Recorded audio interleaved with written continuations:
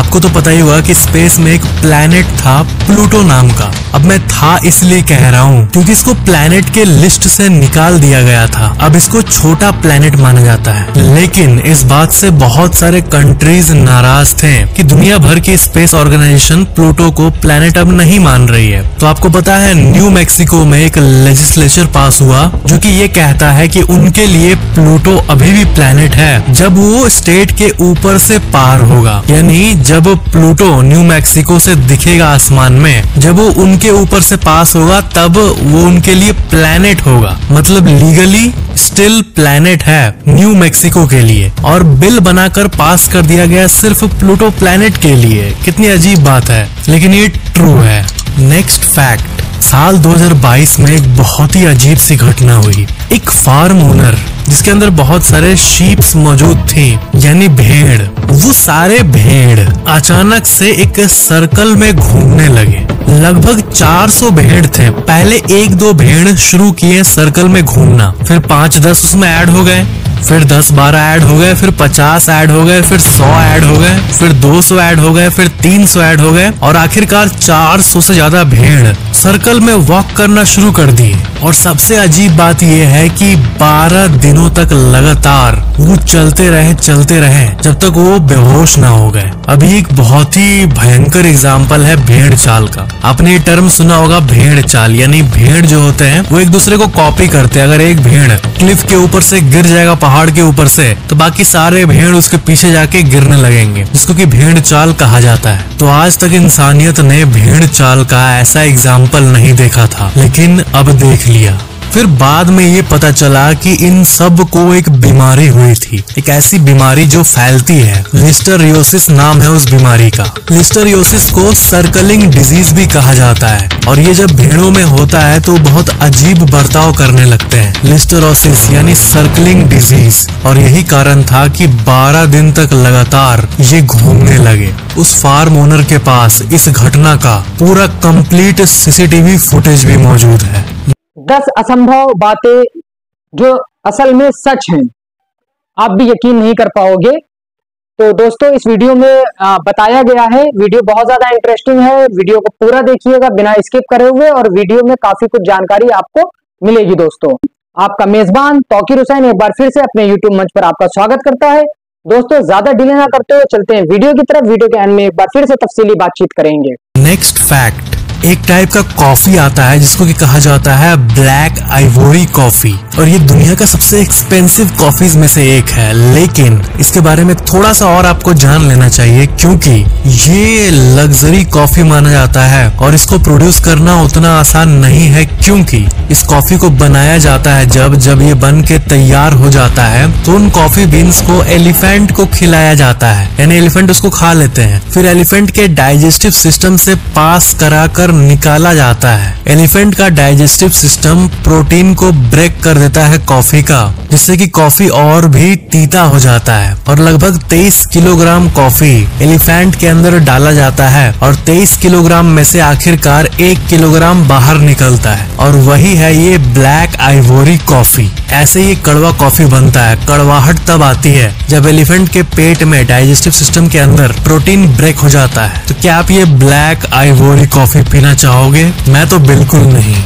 Next fact इस धरती का साइज़ के हिसाब से सबसे लार्जेस्ट क्रिएचर ब्लू वेल ये तो धरती का सबसे लार्जेस्ट क्रिएचर है ही, लेकिन इसके बारे में एक अमेजिंग फैक्ट आपको मैं बता दूँ कि इसका जो हार्ट बीट होता है, तब जो साउंड निकलता है, धक धक धक जो इंसानों में भी होता है, वो दो किलोमीटर दूर से भी सुना जा सकता है। जी हाँ ब्लू वेल का हार्ट एक कार के साइज़ का होता है। और इतना बड़ा सा हार्ट एक कार के बराबर हार्ट मैसिव हार्ट उसके पूरे शरीर में ब्लड को पंप करता है और सर्कुलेट करता है। और इससे जो वाइब्रेशन उत्पन्न होती है, उसको हाइड्रोफोन से कैप्चर कर सकते हैं। यानी इंसान का बनाया गया जो अंडर वाटर माइक्रोफोन्स है, उन्हीं को कहते हैं हाइड्रोफोन्स तो वो हाइड्रोफोन्स जो है, वो दो किलोमीटर दूर से भी इसके हार्ट बीट को लिसन कर सकते हैं, सुन सकते हैं। उन्हीं के ज़रिए इनको और जानने की कोशिश की जा रही है। ब्लू वेल के बारे में और।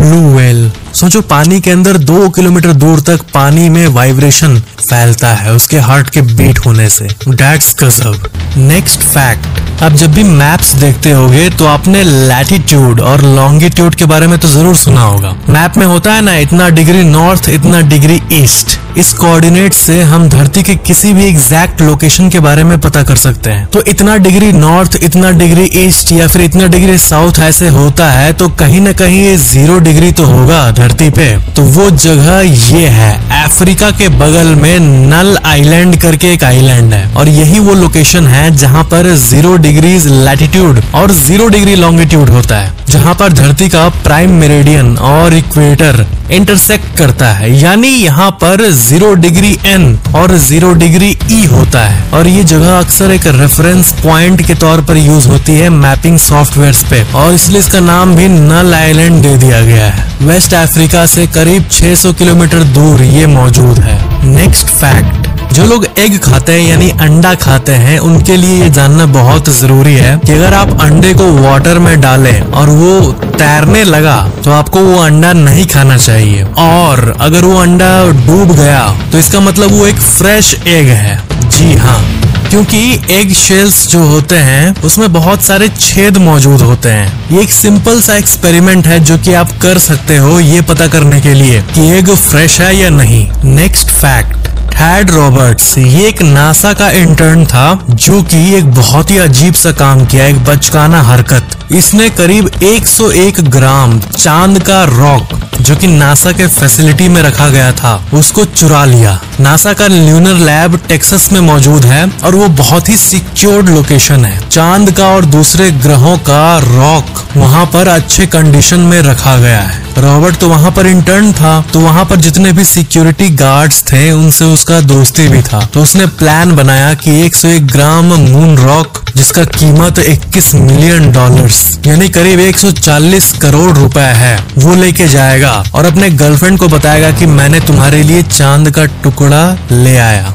जी हाँ यही उसका इंटेंट था। और पकड़े जाने के बाद उसने ये कहा था कि वो मून के उन्हीं पीसेस को बेड पे चारों तरफ़ फैला के और लव मेकिंग करेगा। यानी लिटरली चाँद पर रोमांस इनफैक्ट इस ड्रीम को पूरा करने के बाद वो उस रॉक को दूसरे मिनरोलॉजिस्ट को बेचना भी चाहा। और कई लोग मिल भी गए थे जो कि मुँह मांगे रकम पर चाँद का टुकड़ा लेने के लिए तैयार थे। लेकिन उसके पहले ही उसको पकड़ लिया गया। सबको पता चल गया कि यही चोरी किया था। तो ये एक असल कहानी है जहाँ पर चाँद का टुकड़ा रियल में बॉयफ्रेंड ने गर्लफ्रेंड को दिया। डेट्स रियली गजब। नेक्स्ट फैक्ट क्या आपको पता है कि घड़ी क्लॉकवाइज ही क्यों घूमती है? देखो राइट साइड अगर घूमे तो इसको हम क्लॉकवाइज कहते हैं। कोई चीज़ लेफ़्ट साइड घूमे तो उसको हम एंटी क्लॉकवाइज कहते हैं। तो राइट साइड घूमने को क्लॉकवाइज इसलिए कहा जाता है क्योंकि क्लॉक इसी साइड घूमता है। हेंस इसका नाम क्लॉकवाइज क्लॉक की तरह। लेकिन सवाल ये है कि क्लॉक राइट साइड क्यों घूमता है? तो इसका आंसर है सन डायल में।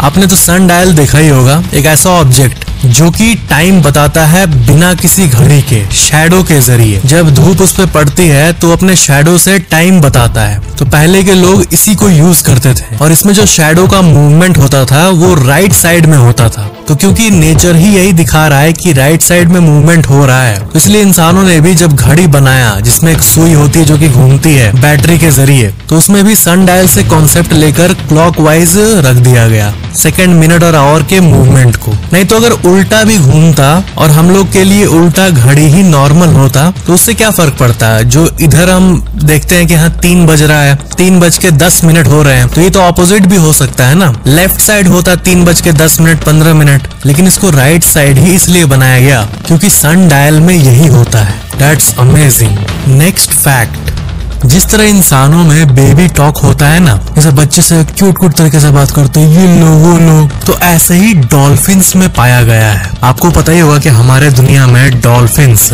सबसे इंटेलिजेंट क्रीचर्स में आते हैं। तो इनका बेबी टॉक का वर्जन पाया गया है, जो कि ये हाई पिच करके और स्लो पेस में अपने बच्चे से बात करते हैं। अपने ओरिजिनल पिच को बदल कर बेबी टॉक करते हैं, जैसा इंसान करते हैं।